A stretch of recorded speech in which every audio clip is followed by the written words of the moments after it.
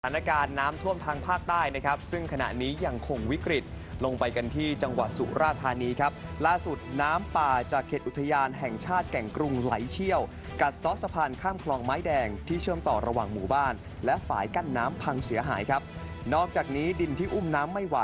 สไลด์ปิดทับเส้นทาง 4 จุดครับ ในพื้นที่ตำบลปากหมากอำเภอชัยยา ส่งผลให้ชาวบ้านกว่า 400 หลังคาเรือน ถูกตัดขาดจากโลกภายนอก ส่วนพื้นที่ติดชายทะเลน้ำท่วมสูงกว่า 1 เมตร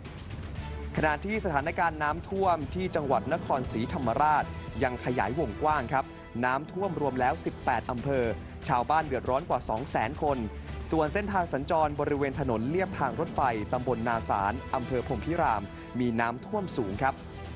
ไม่ต่างจากถนนประตูลอดและถนนพัฒนาการคูขวาง ย่านธุรกิจของจังหวัด ผู้ประกอบการร้านต้องเร่งนำกระสอบทรายมาวางกั้นหน้าร้าน ชุมชนต่างๆ ต้องใช้เรือในการสัญจร ซึ่งล่าสุดนะครับมีผู้เสียชีวิตแล้ว 4 คน ส่วนที่อำเภอเกาะสมุยจังหวัดสุราษฎร์ธานีเกิดเหตุสลดพายุงวงช้างพัดถล่มเรือลอบดักปูม้า ลอยพลิกคว่ำบริเวณเกาะสมุยทำให้นายสุภชัยเสนาพัฒน์ใต้กงเรือเสียชีวิต ส่วนลูกเรืออีก 5 คนรอดชีวิตบุดวิด